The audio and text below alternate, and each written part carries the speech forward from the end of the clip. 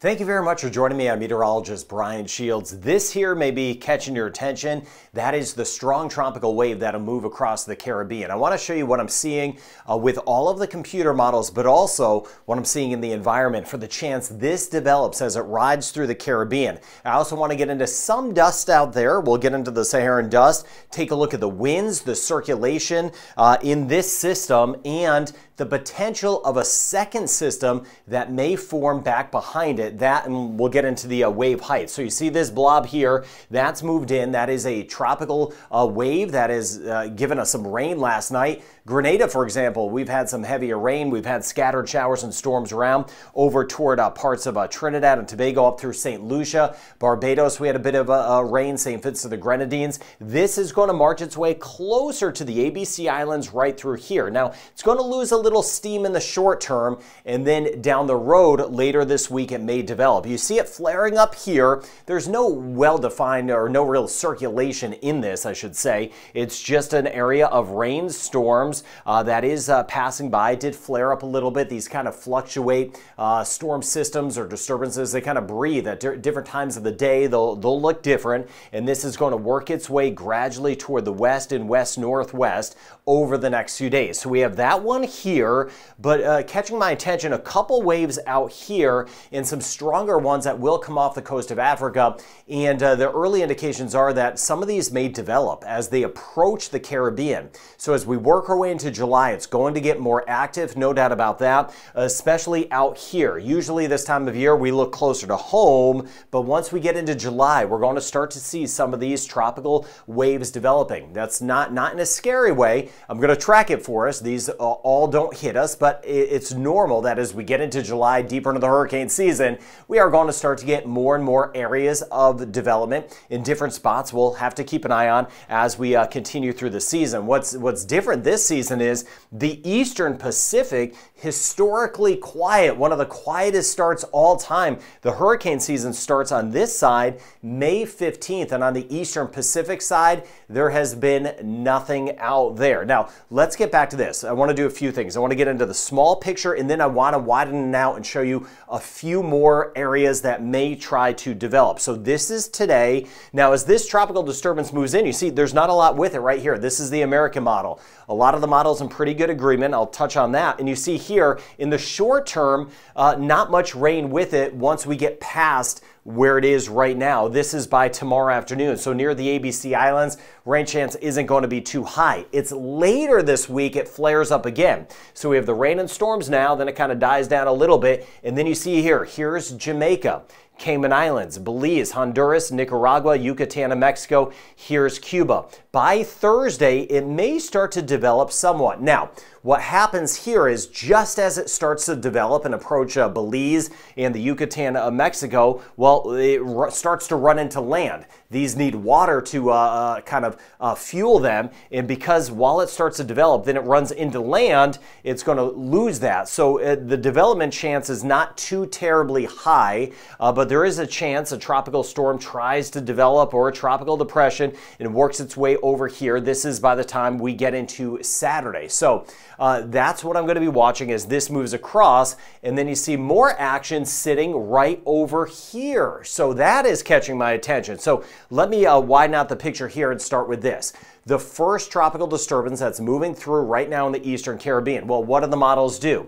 The European model says, hey, this is not going to be a storm because as this moves toward the Yucatan, it's going to run out of uh, uh, water. It's going to kind of run into land and it won't have enough time to develop. The American model does have this developing into about a tropical depression. The Canadian model has this becoming a tropical storm saying, hey, this is going to move over water, the Bay of Campeche a little bit longer, kind of lift up here toward northeast Mexico. That'll give it some time to develop. The German model, the Icon model, has no development. Now, uh, there's a good chance it slides toward Belize and the Yucatan. Nothing alarming at this time, just monitoring for signs of development. A much lesser chance that it would make any curve up to the uh, north. So models kind of split. It just depends on if it could stay over water long enough to develop. So it's not a given it does develop. Has my attention. I am watching that. Now here's the bigger picture. So it's this area in here. There's also a little disturbance coming out of the Bahamas. That'll give us a better chance of rain in Bermuda. A small chance that tries to develop. So this here is Wednesday. So that's kind of a second area right there. And then you see by Thursday uh, what happens. This is kind of getting through the week. Jamaica, I'll be watching us through the week. So thank you for spreading the word about this channel. Uh, we'll see how close some of this rain gets. But as of now, it looks like by Friday, some of this rain would be working into Belize, Honduras, Yucatan, and Mexico, even Nicaragua close to the Cayman Islands. And then we'll be watching this as it kind of lifts its way toward the Bay of Campeche. The longer it's able to kind of stay over water, the better chance it has of developing. And then looking down the road, this is on Saturday. Look at that right there. I was talking about the other tropical waves that may develop. By the time we get into the weekend, there could be some sort of system or at least a strong tropical disturbance approaching the eastern Caribbean. Almost all of the models are picking up on this. So we're watching development here. I want to be very clear. The chance of development here, and then the chance of development by the time we get into the weekend. There could be some sort of system anywhere from Trinidad up toward Barbados and then trying to move in. As of now, I'm not seeing anything super strong, but definitely the models are picking up on organization of some sort of tropical depression or tropical storm. The potential of that near the eastern Caribbean by this weekend, and then we'll see if this kind of shoots into the Caribbean or kind of does a little bit more of a curve up to the north. So wait and see on that. Nothing has even developed at this point. This is normal. Starting to see a lot of areas we need to uh, track, and I'll do so. Now, uh, there's some dust out there. It's not, not the biggest area of dust. We had a lot of dust a month or two ago. Uh, so just seeing some dust, this is normal as you go through the uh, tropical season. There'll be areas of dust. It could suppress some of the development.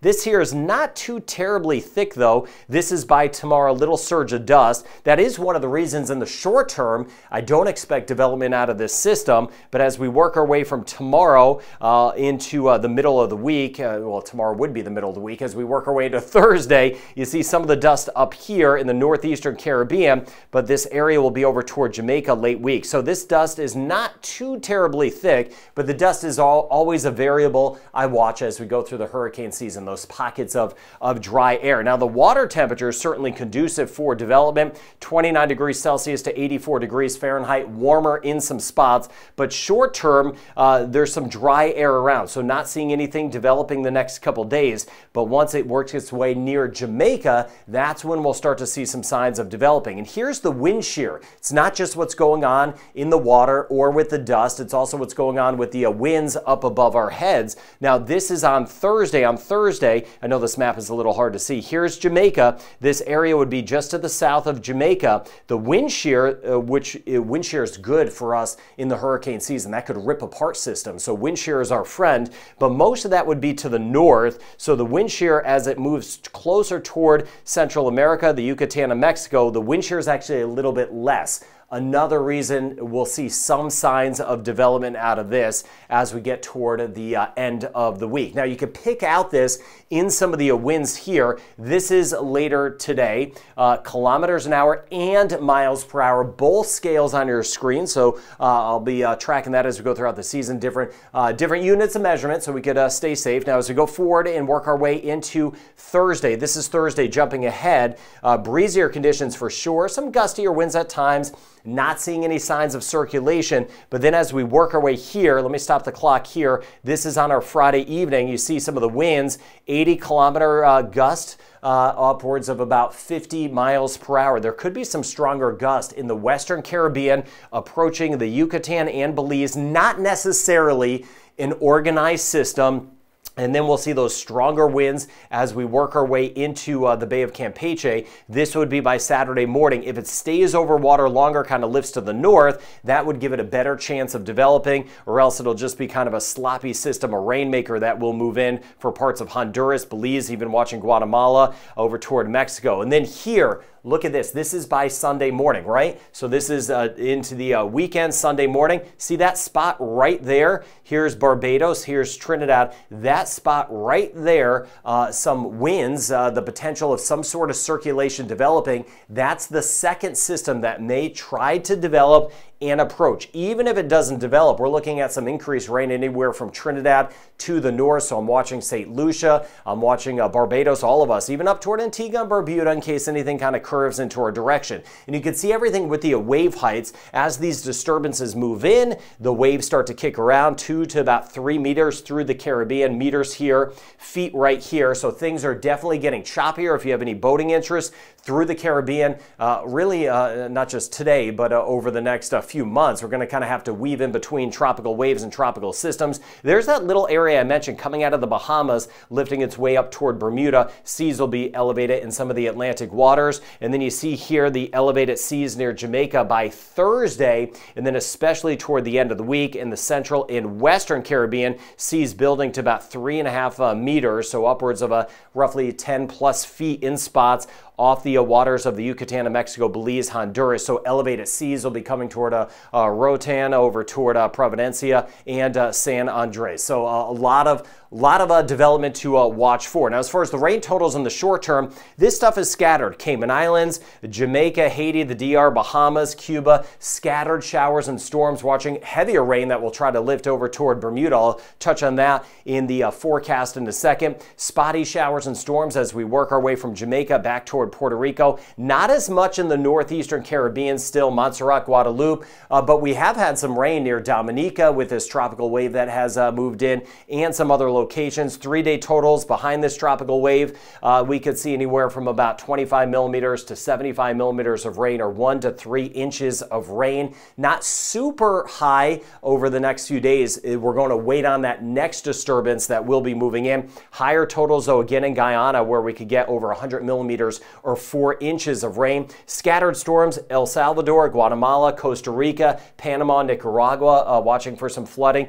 And as we work our way toward Mexico, still those scattered showers around not as much northern sections of uh, Mexico, but we'll see what tries to develop later this week and uh, pushes our way. So definitely a busy pattern. Again, watching this blob here, that's the first spot riding through the Caribbean, and then that other area off the coast of Africa that may start to develop and approach this uh, weekend. So those are really the two areas that I'm uh, watching. You get to the northern sections of all of this, Atlantic region of Canada has been busy. There have been some thunderstorms around. We're going to see a front pressing uh, by, so I'll have some fronts nearby. That'll keep some instability in play. This is our Wednesday afternoon. That chance of some scattered showers uh, tomorrow, not as much. You see some of the storms over toward uh, Toronto moving toward uh, the northeast of the U.S. and then starting to move, uh, move in again as we work our way into Thursday. So Jamaica, 30 to 40% chance, and we are hot. Falmouth, Montego Bay, it is steamy. Cayman Islands, about a 20% chance of rain for us. Jamaica and the Cayman Islands, I'll watch how close this tropical disturbance will get. We'll be on the edge of some heavier rain later this week, and I'll be breaking that down island by island as we go forward. Trinidad and Tobago, chance of some rain and storms around at times, and then we're going to shift our attention to what's going on off the coast of Africa with that next tropical wave. Same thing in Barbados. Better chance of rain today. A lot of this is already panned out for today. St. Lucia with this tropical disturbance that has moved by Grenada too. We've already we've already had some of the uh, areas of rain. St. Vincent in the Grenadines. So in between the tropical waves, the rain chance will be going down back down to a 30% chance tomorrow in Martinique. In Dominica tomorrow and Thursday, rain chance will be trending down. 30 to 40% chance in Guadeloupe, 20 to 30% chance Antigua and Barbuda, 20 to 30% chance St. Kitts, Nevis, and Montserrat, and about a 20% chance Anguilla and St. Bart's, 10 to 20% chance St. Martin, Saba, and Statia, 30% chance of isolated storms in Puerto Rico, passing shower or a thunderstorm, uh, U.S. and British Virgin Islands, 30 to 40% chance across the Bahamas. A lot of that moisture lifting up toward Bermuda. Turks and Caicos could uh, we could get a passing shower. 40% chance of some scattered showers and storms in the Dominican Republic. Get back toward Haiti. An isolated chance of a shower or storm. A 40% chance in Belize. Belize, all eyes on this uh, tropical disturbance. I'll be watching that approaching later this week, and I'll be zooming down across Belize, Honduras, the Yucatan of Mexico. Uh, we'll get it very specific with rain totals or even any winds that may eventually come our way. 20 to 30% chance in Aruba where you may get clipped by this tropical disturbance. I'm hoping it could spill over some showers for Aruba, Curacao, and Bonaire. Guyana, rain chance on the higher side today. Those pockets of flooding. trending down somewhat in uh, Suriname. Rain chance about 50% in Cuba. This is more in the way of those scattered showers and storms. Costa Rica and Panama, 60% chance isolated flooding. A 50% chance in Nicaragua. Nicaragua uh, back toward Honduras. I'll be watching this tropical disturbance that'll move closer later this week. 40 to 50% chance in the short term in Honduras. A 60% chance of scattered showers and storms. Guatemala, El Salvador, and about a 50% chance the next few days as we get back toward Mexico City. Rain chance about 60%, a little bit higher over toward the Yucatan of Mexico. Isolated 30% chance in Colombia, 30 to 40% chance in northern Venezuela, and that rain chance getting higher in Bermuda with that moisture lifting up, even some gustier winds and higher seas, that moisture lifting up from the Bahamas. So a strong tropical wave moving in, monitoring for, for some development. There are some areas of dust, and I'm watching the coast of Africa for that next system. A lot of the models are picking up on some development as that that one approaches the Eastern Caribbean. So those two spots have my attention. That's what I'll be tracking as we go over the next week or two. And things will, of course, get more and more active as we go throughout the month of July, which is what we expect this time of year. So got you covered storm by storm. Thank you for sharing this channel. Be safe and have a good rest of your day.